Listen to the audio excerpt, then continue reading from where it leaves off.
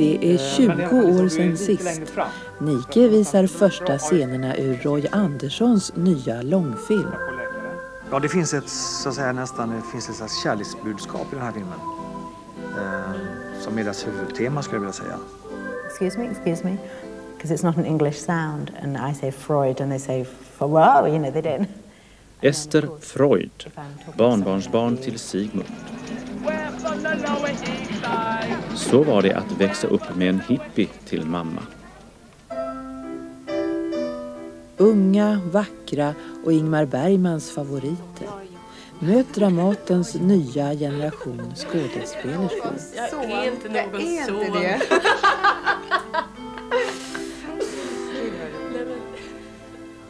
Och som reporter tror jag att det är en av de värsta saker man kan göra är att, och också en av de mest förolämpande saker och, och jag tycker jag mest omoraliska saker är att inbilla sig att man kan identifiera sig med de människor man skriver om. 50 år efter tysk höst reser reportern Per Svensson i Stig Dagermans spår från Malmö till Sarajevo. Ett nytt stort svenskt konstcentrum invigs om några dagar. Det är resultatet av ett gäng entusiasters brinnande kärlek till grafiken. Kan det här bli svenskarnas Louisiana, tro?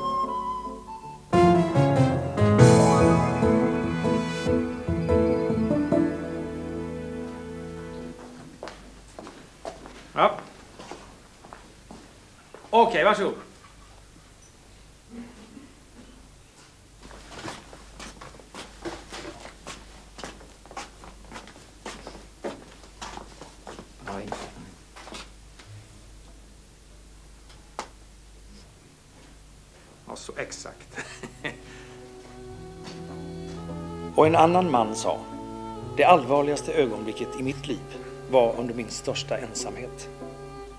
Och en annan sa, det allvarligaste ögonblicket i mitt liv var i ett fängelse i Peru. Och en annan sa, det allvarligaste ögonblicket i mitt liv var när jag överraskade min far i profil. Dikt av César Vallejo, peruansk poet, eh, död i Paris i misär i 40-årsåldern. Jag vill eh, beteckna honom som en av eh, absolut, världens absolut bästa, viktigaste eh, poeter. Eh, på grund av sin enorma eh, ska säga, kärlek till människan och livet. Så ja. Där! Ah, är det så sävligt? Det är så sävligt. Han har funnits länge i mitt huvud efter mötet för 20 år sedan eh, under arbetet med Giliap. Så stötte jag på honom. Och jag hoppas nu då efter dessa 20 år att han ska få komma till tals här i, en, eh, i min nästa långfilm. Ja, vi har ju eh, börjat filma på den här långfilmen Sånger från andra våningen. Och man kan säga att det är, det är en skiss på första scenen, eller en, en test på första scenen. Som visar en trollkarl som uh, sågar, gör det gamla sågtricket. Klara? För.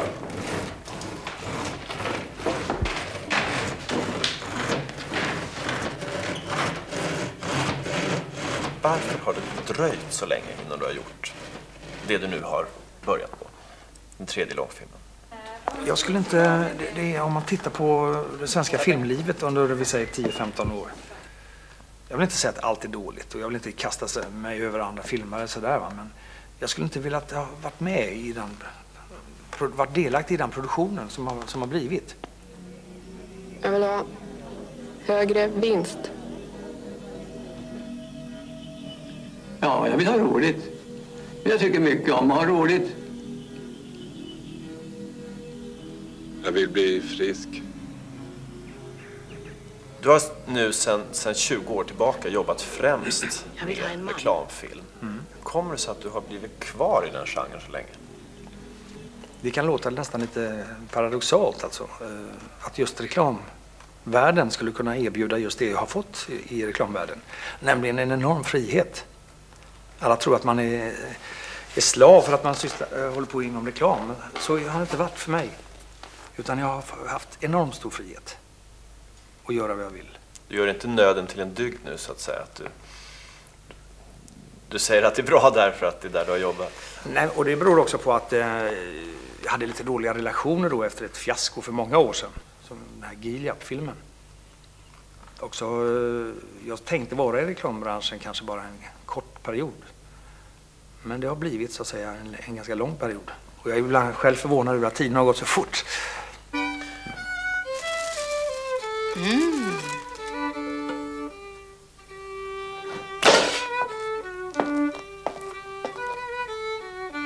Humor det är egentligen sanning. Det finns ingenting som är roligt som inte är sant. Och då menar jag det är sant iakttaget, det är sant eh, återgivet, det är sant gestaltat av en komiker eller eh, eh man drar på munnen åt sanningen, man ler åt sanningen. Man ler åt den lekande hunden eller det lekande barnet, det är oförställdheten. Eller vad det är, 15. Där. Eh, men i alla fall, liksom, du är lite längre fram. För att du nästan dra, ja just det, ska se hur det ser ut.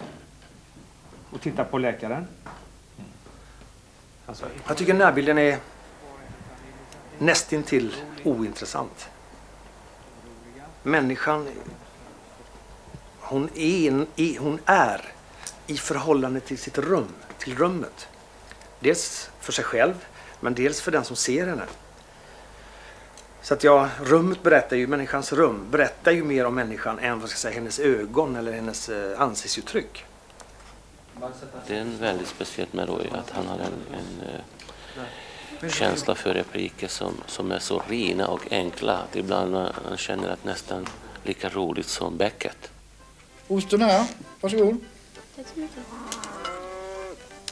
Och är det som man vill ta två skivor så gör det ingenting. Det är ju i alla fall söndag. Vi vill ta en exempel. Det var en eh, scen när en man säger att jag vill ha vänner, många vänner.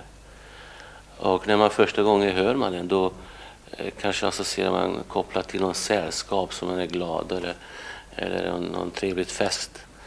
Men eh, då Roy sa nej, jag tänkte på en militär som sitter på en flygplan. och då, då uppstår någonting som är... Jag vill ha vänner. Många vänner. Filmen är i väldigt hög grad en sån här kommersens bransch. Alltså. Men jag menar att det finns en viktig sida, sektor inom filmen som man måste verkligen värna om. Och det är den att, att det måste få göras film också som, som kan ha samma nivå och samma livslängd som, som bra konstverk i övrigt. Så jag, är, jag väldigt, får väldigt starka influenser just från eh, konsten. Måleriet. Och jag en gång hade väl lite drömmar om också att måla själv. Alltså. Det finns ju, man kan ju göra en bild på tusen olika sätt. Men när jag såg den här Gojas bild då, då var det just den här glupskheten som jag, som jag tyckte var det starkaste eh, Eh, delen i, i den situationen. Just mottagarens förväntan och, och glupskhet. Som sen ledde till att han griper tag i kalken och vill ha allt. Så eh, starkt är behovet av, av så att säga, förlåtelse eller, eller frid.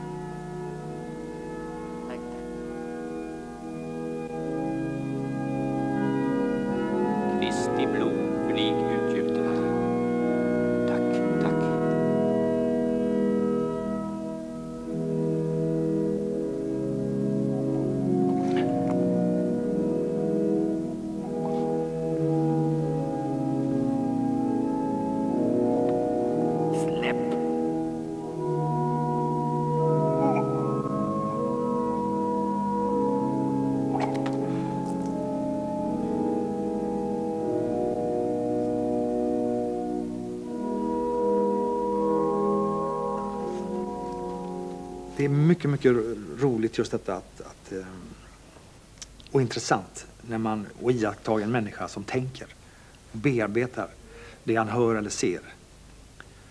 Jag brukar nämna ett exempel med eh, någon, om någon kommer och säger så här att har du hört att, eh, eller min far han, han, han är död. Ja, är han död? Hur gick det då? Och han ramlade ner från, från ett bigarråträd. Om man säger bigarråträd definierade så, alltså specificerade så. Va? Eller om han hade sagt eh, han har ramlat ner från ett träd. Men just att han eh, ramlat ner från ett bigarråträd. Den som hör det då börjar naturligtvis för liksom förstå historien och hur det kan ha gått till det hela. Va? Och just den processen, när den här människan bearbetar den informationen att han, den här mannen ramlar ner från ett bigarråträd. Då tycker jag att människan är väldigt rolig att titta på. Ja! Välkommen. Välkommen. Per, kan vi lägga till en liten fördröjning där? Får jag ta den?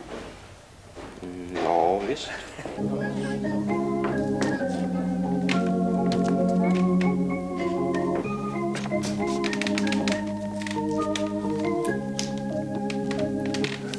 Ja, det finns ett, så att säga, nästan, det finns ett slags kärleksbudskap i den här filmen. Eh, som är dess huvudtema skulle jag vilja säga.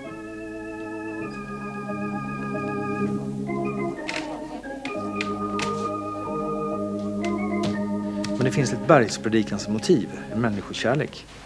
Och det är farligt att komma med sånt idag. Det kan upp- uppfattas just som pretentiöst. Och varför ska jag, varför ska han stå för det, våga säga något sånt? Han som gör reklamfilmer dessutom.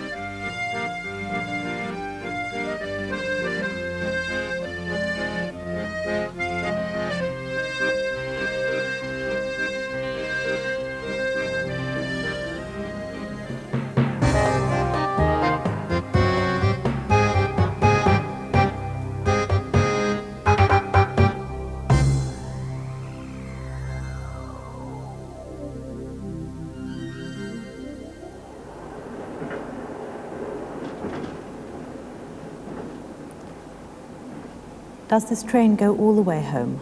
I asked Mum, who was braiding and unbraiding her hair with quick, distracted fingers. No, she said. I had to pinch her for the answer. B had climbed up into an empty luggage rack and was using it as a hammock. Hideous, hideous, hideous, kinky, hideous, hideous, kink, she chanted softly to the rhythm of the wheels. I badly wanted to climb up and join her, but I thought it would be safest to stay on the seat in case Mum changed her mind about going home and decided at the last minute to jump off at one of the stations along the way.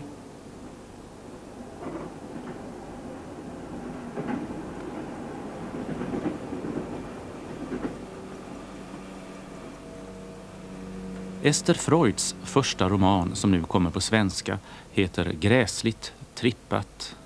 En självbiografisk berättelse om mamman som reser i Marocko med sina två små döttrar.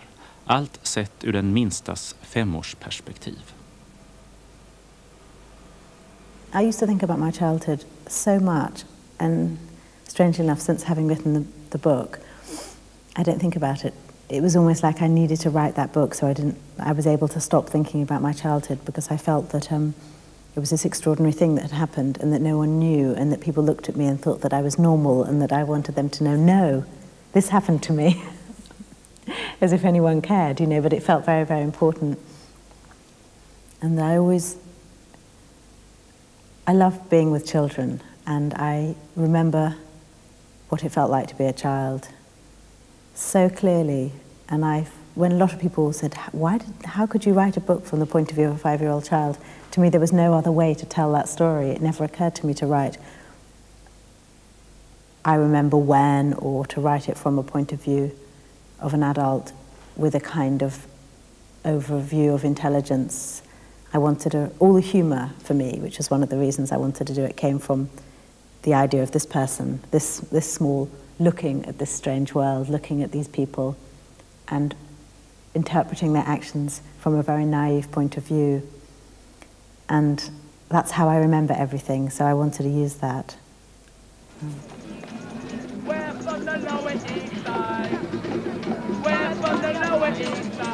Den unga mamman i Gräsligt trippat En rastlös 60-talshippie, öppen för allt nytt.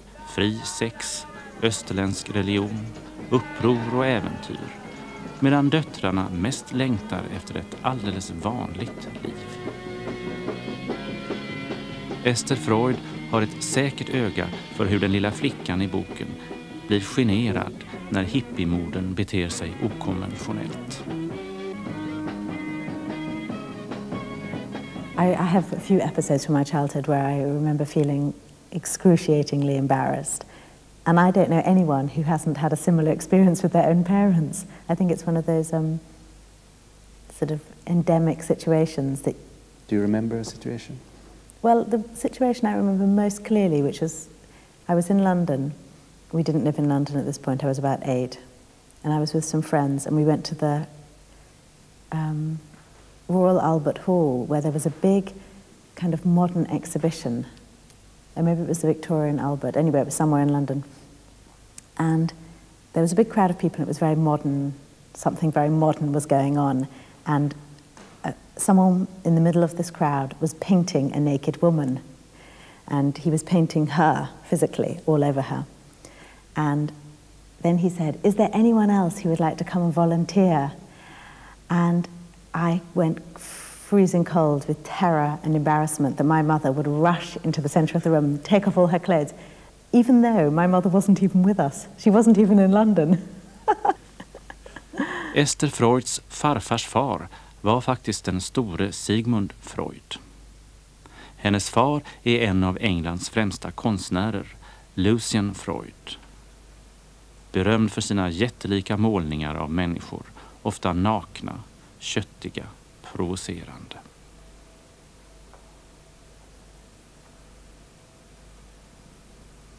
My father never lived with us, so I never really had a, a sense of what it was like to live with mummy and daddy and to have that kind of a home. But all the stories you have about mummy and daddy, daddy's little girl, and I wanted to be one of those little girls in the story. I used to practice sleeping like an illustration, you know, with your hands over the sheet it was very uncomfortable, so then I would do this. You know, I was very self-conscious. I don't know why. Um, and when did you get to know your father? How um, old was he? Well, when we when we came back from Morocco, I was about six, and I always remember him from that point on. We used to see him regularly, and, and I was, you know, as I got older, I've become closer and closer to him, and he's a very important, you know, person and he feels very like my father and and I suppose he has fulfilled what I wanted that there he is you know how do people react when they they hear your surname the famous name um, well mostly 99% of the time they don't react because they don't understand what it is and they never ever pronounce it right so they say Miss Froud, could you come and collect? You know, it's always a problem. And you know, sometimes I don't use it because they say, excuse me, excuse me, because it's not an English sound. And I say Freud and they say well, you know, they don't. And then, of course, if I'm talking to someone like you, it becomes an issue Mm. and a discussion. But that was never the case until I became an author. It was just one of those rather annoying names that no one could pronounce. That was all it was. Mm. And as an actress, it had no sway. No one took any notice. So it's quite a recent thing. Is it an advantage or is it a burden? I think it probably, so far to me as a, as a new novelist, it probably has been an advantage because, you know, people have shown a great interest in um, covering my books. But if they had have hated my books, they may have felt tricked into the fact they took interest in me because of an interesting name and now they're bored because they had to read this boring book. So, yeah, it could turn around and be a burden, but I think that it would be wrong of me to say it hadn't been an advantage that I have had a lot of um, interest. In, in, in the TV comedy, Absolutely Fabulous, Yes. there was a line I about you. know, I know. And what's so funny is the, the actress who had to say that is a friend of mine. And she, wrote, she was saying, I'm so sorry. But it was so funny. It made me laugh so Mm. much. Do you remember the line? Yes. Mm. They said, um, um, we don't want any articles about people called Freud. Um, a bunch of no-hopers with a famous ancestor. and, then, and then another woman says, but some of them are my best friends. I think it was very funny.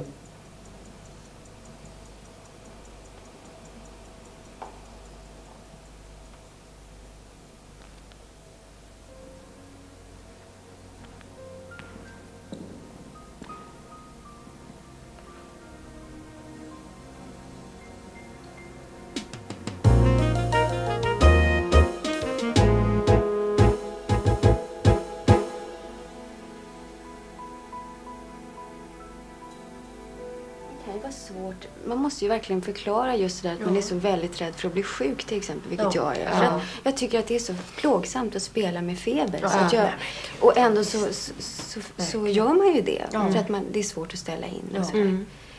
Man går till hälsokostaffären en gång Ja, i veckan. Gud. Vilken Men det är det. Någonstans det är, så. är det också lite knäppt i det att man inte får bli sjuk. Ja, det är lite... Det är svårhanterligt. Och så fort man blir ledig så blir man sjuk. Ja. Alltså, människor som man har som bekanta kring sig, som man inte har den här kontakten med, där Mm. är väl, ja, där är väl lite glapp med Mm. förståelsen av det. Men, Ja, men det går ju man att bli så man livrädd när man blir också sjuk. för vissa saker. Jag menar, det Nej, det tycker inte. Nej. De har alla tre varit med i någon av Ingmar Bergmans uppsättningar. Anna Björk, som redan som tonåring anställdes som ensamelev av Dramatenchefen Lars Lövgren. Nadja Weiss, dotter till författaren Peter Weiss och scenografen Gunilla Palmstierna Weiss. Elin Klinga, dotter till skådespelarna Malin Ek och Hans Klinga. De är den nya generationen begåvade skådespelerskor på Dramaten. De har några gemensamma drag. De är alla väcker de ens tillgivenhet på grund av sin begåvning och sin obestridliga talang. Det är roligt med tre så starka kvinnor med så stark integritet. De är vänliga utan inställsamhet. De är eh, respektfulla utan vördnad. De, är, de har en eh, eh tre oerhört friska intellekt. Starka intellekt och starka känslor. Nadja Weiss debuterade i Misantropen och gör nu den stumma Yvonne, prinsessa av Burgund. Regi Ingmar Bergman. Och det han sa om den rollen då var att bli inte förskräckt. Du kommer vara jätteful. Du är helt stum. Men det är en fantastisk roll. Jag hade inte, eller jag såg den som barn. För det var min mamma som gjorde scenografin då. Fast jag kommer inte ihåg någonting av den. Jag bara kommer ihåg så här bild, vissa bilder från i Tyskland. När du sen då läste manuskriptet och, och förstod då hur den här Yvonne skulle vara, vad tyckte du om rollen och pjäsen då? då? Eh, först blev jag helt eh, förskräckt. För jag tyckte att det var otäckt, alltså. Otäckt att göra en sån roll som inte kan få chans att för, liksom förklara sig eller göra motstånd mot de här elaka människorna som är runt omkring henne. Det här, förstår ni. Det här sätter jag på mig. Visst är brösten fina? Först blev jag ju skräckslagen över att se ut sådär. Från början tyckte jag att det var onödigt. Jag tänkte så här att nej, eh, hon ska vara som alla andra. Jag var mobbad när jag var liten. Eh, jag såg inte så speciellt annorlunda ut. Bra det. Va? När man själv blir utsatt för mobbning så då finns det där att man, man går in i sin egen värld. Man sluter sig. Har du rullat den nu igen? Och lite grann av att göra den här rollen är en sorts revansch på något sätt mot den tiden när jag var mobbad. Fast jag måste säga att när man spelar, som vi spelar i Silverstad klockan 10 på morgonen ibland. Mm. Och det, det tycker jag är en extremt tidig tid Ja, att ja. spela teater. Oj, oj. Och då när det sitter barn där som som skruvar på sig å det grövsta och, Ja. och eh, kommenterar på ett... e- Alltså det är okej, att, alltså, men det är svårt. Mm. Det kan vara väldigt svårt att ta. på vilket sätt. För det kan Ja. vara som någon kväll också som vi hade med Yvonne. pratar när det var att att folk hostar och hostar hela tiden. Ja, och det är man, man, till slut blir man, man blir sårad.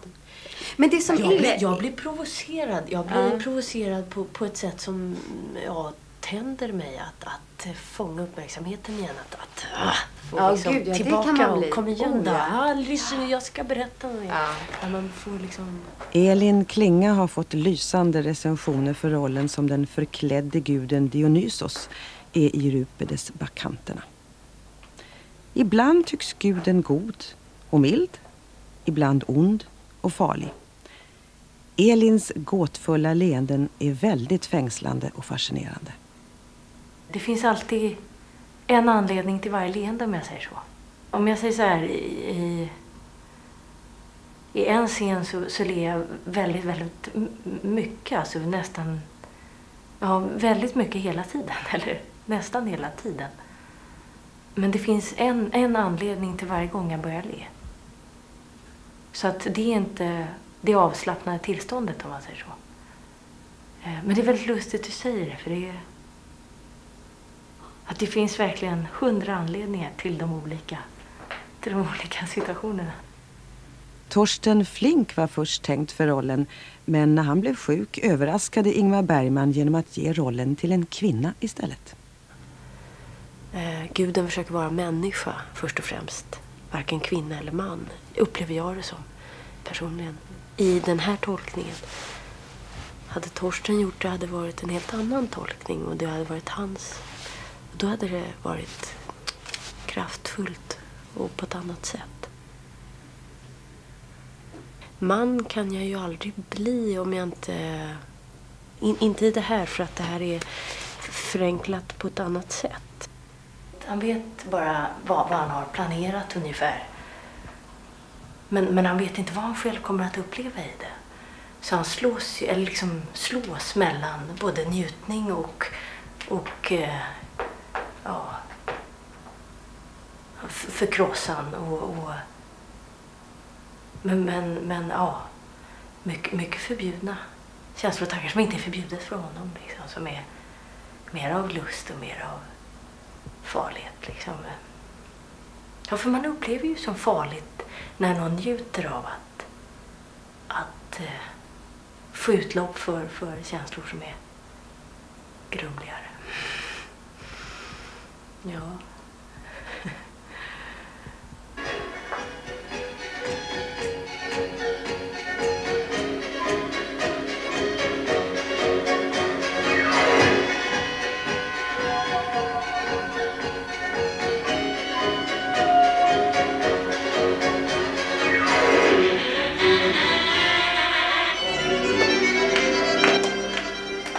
Att eh, Nadja och Elin då har föräldrar som har liksom på ett ja, lotsat in och där, där liksom teater alltid har funnits med. Är det där någonting som du tycker att det är rätt skönt att slippa den belastningen om man ska kalla det för det? Eller är det där någonting som du känner att åh det skulle jag också vilja haft? Nej. Eh, jag har nog tyckt att det har varit ganska skönt. Därför att jag har tyckt att det har varit helt och hållet min eh, resa och mitt äventyr så att säga frånskilt från mina föräldrar. Och det, och det har jag tyckt har varit väldigt roligt och spännande. Så att, eh, på så sätt är det bra. Men, men däremot så, så jag, kan jag känna ibland att jag önskar att jag visste mer när jag började. Eller att jag hade någon som jag kunde fråga sådär. Alltså jag kan verkligen se fördelarna med att ha en förälder. För att det finns ju mycket som mina föräldrar absolut inte kan hjälpa mig med. För de vet ju inte, vet ju ingenting om det här. Anna Björk är numera anställd på Dramaten där hon gjort flera starka moderna kvinnoporträtt. Just nu spelar hon bland annat dottern i Kvinnan som gifte sig med en kalkon. En något absurd tragikomisk pjäs av Gunilla Boetius om mor-dotterförhållanden och familjerelationer. Hur mycket av den här flickan eh, är du själv? Ja, när, när jag spelar det så är det ju min, min tolkning. Så då, då utgår jag ju ifrån mig själv jättemycket. Men annars så tycker jag inte att, att det är särskilt likt. Jag menar, jag skulle ju aldrig någonsin gå med på tvångsgifte och absolut inte med någon omopererad fågel. Alltså jag menar så att, så att själva hennes situation är inte lik min.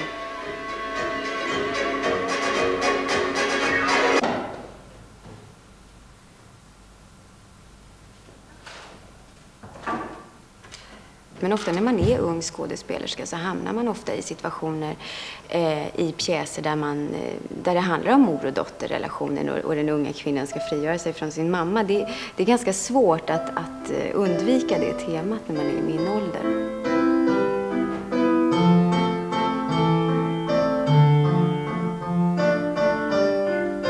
Silverstad, den andra pjäsen som jag är med och spelar, det är ju i och för sig också en samvetskonflikt på det sättet. För det är ju en liten flicka som är tio år, Camilla, som eh, har rymt ifrån sin mamma och längtar efter sin pappa. Hon letar efter sin pappa som hon aldrig har träffat. Rollen i Silverstar är specialskriven för dig av Kristina Lugn. Ja, jo. Jo, det är den. För mig och så, och så den andra då för Siv Rud. Jo. Hur är det att spela med Siv Ruda som är en av de mest erfarna skådespelerskor på Dramaten som har varit lärare till väldigt många här? Ja, nej men det är jättebra. Det är jätteroligt. Jag tycker väldigt mycket om henne. Jättefin är hon. Som ung och ny blir man då behandlad som vuxen av de äldre och mer erfarna. Vad säger Nadja och Elin som gått här som barn i huset under hela sin uppväxttid? Det har ändå varit en väldig lyhördhet för den människa man är nu, tycker jag. Men det är väl lite grann upp till en själv Ja, också? Är det inte det. det? Att det kan vara bekvämt att falla tillbaka i alltså, någonting man hade när man var barn och Ja. liten och söt Ja, liksom. ja. Och gullig på det sättet. Alltså, jag det- tror det där var svårare när man var tonåring. Ja, det var, det. oh, Men det- för då var man så... I alla fall, eller man och man, jag. Ja, jag upplevde i alla fall att då var det svårare. Därför att man hade sånt behov av att hitta vem är jag och Mm. vem... Jag är inte den... Jag är inte någons son eller dotter eller något. Jag är jag själv. jag är jag. Jag är inte någons Jag son. är inte någons jag är son. Inte det. Gud vad roligt. Nej, men...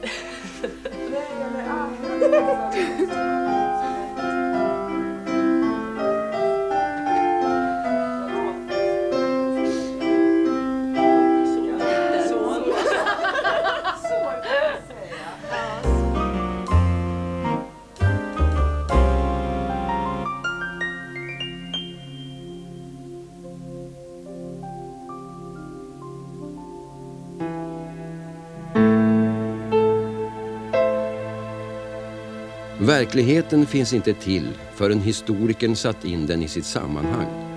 Och då är det för sent att uppleva den, att harmas över den eller att gråta. Verkligheten måste bli gammal för att bli verklig.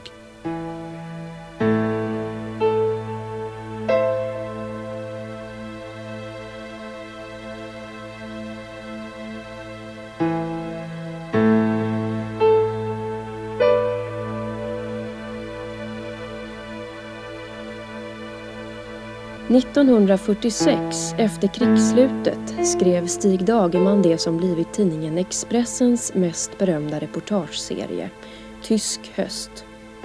Han skildrade den tyska vardagen i spillrorna efter kriget. Nu, 50 år senare, efter ett annat krigsslut, det i Bosnien har Expressen-reportern Per Svensson gjort en uppföljning av Dagermans skildringar.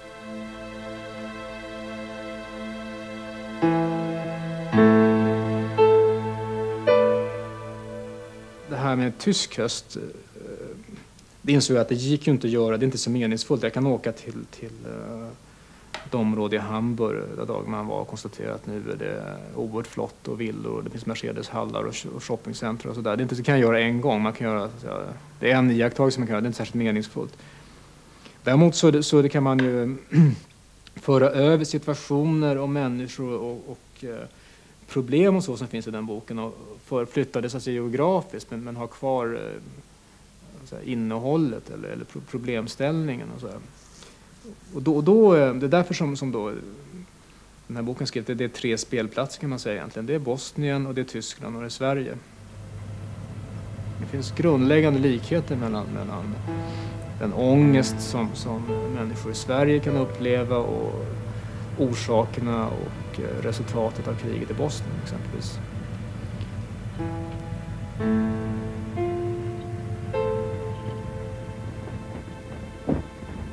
Och jag har hållit på med det här kriget i, till och från höll på att säga, men ganska mycket sedan 91, snart fem år.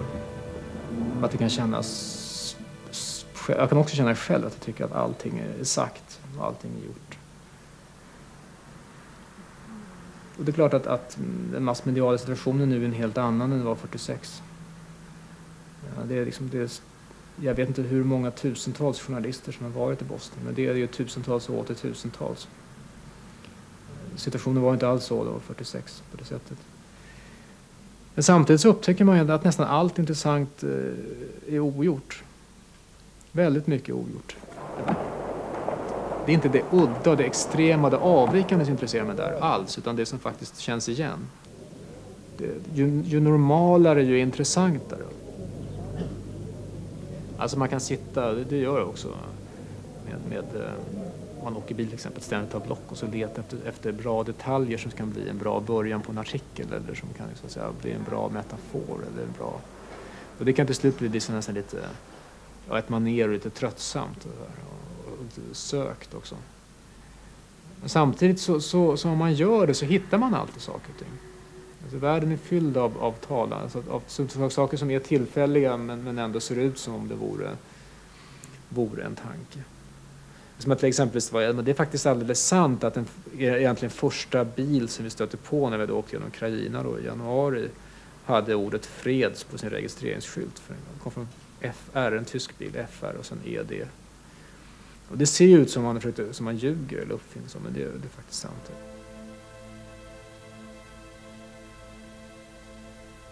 Och som reporter tror jag att en av de värsta saker man kan göra är att, och också en av de mest förolämpande saker och, och jag tycker jag mest omoraliska saker är att inbilla sig att man kan identifiera sig med de människor man skriver om.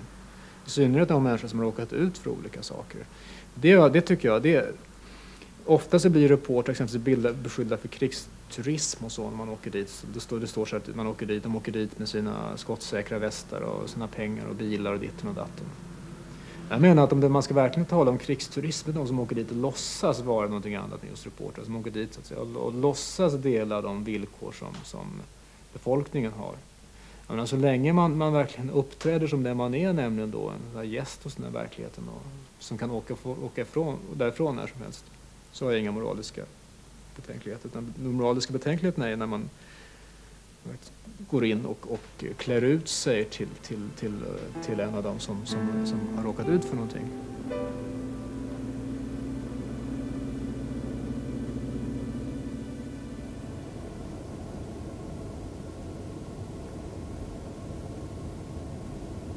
Malmö är en speciell stad i Sverige. Den är religiöst och, och eh, etniskt kulturellt oerhört blandad stad. Och en väldigt rörig stad också, rent arkitektoniskt väldigt rörig. Den mest vidriga betongarkitektur från 60-70-talen tillsammans med sekelskiftesbebyggelse. Det finns ingen ordning alls egentligen. Och det är det jag gillar. Det är en väldigt stadsmässig stad. Det i samklang med den här så att säga, bilden av staden som någonting som, som växer fram både på en och samma gång planerat, visst system och ändå oordnat som man inte har kontroll över, som hela tiden förändras.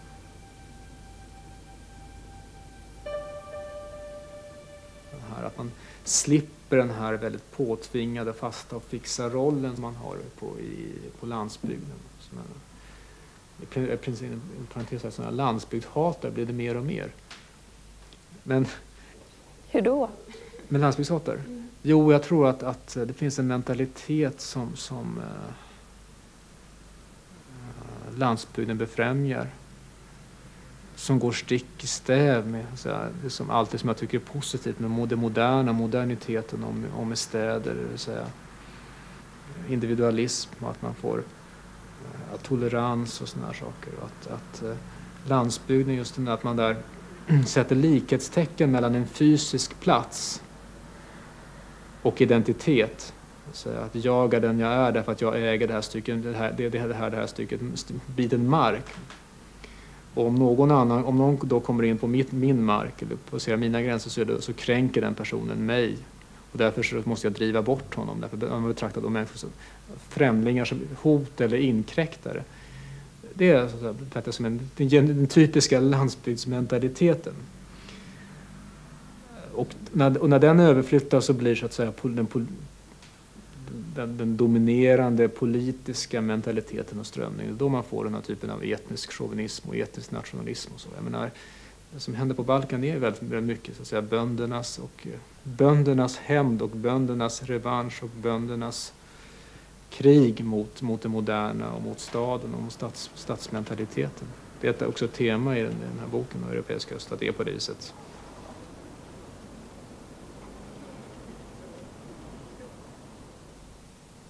Jag är uppvuxen i Täby som är en Stockholmsförort. En ställe som Täby kan ligga på vilken leråker som helst. Är dina egna rötter viktiga för dig? ja, alltså i den meningen att jag inte har några så är det naturligtvis viktiga. Det är ett av skälen till att jag tycker att, att uh, det man bestämmer sig för att vara är det som, som, som ska räknas, inte vad man egentligen är.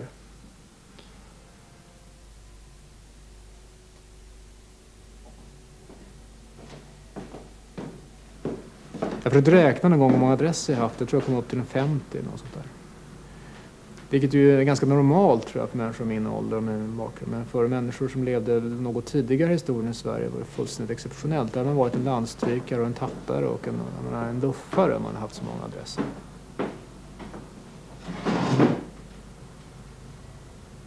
Identitet och hemtjänst är någonting som man skaffar sig. Man bestämmer sig för att jag är svensk eller jag är ditten och datten och sen så, ja, så blir man det.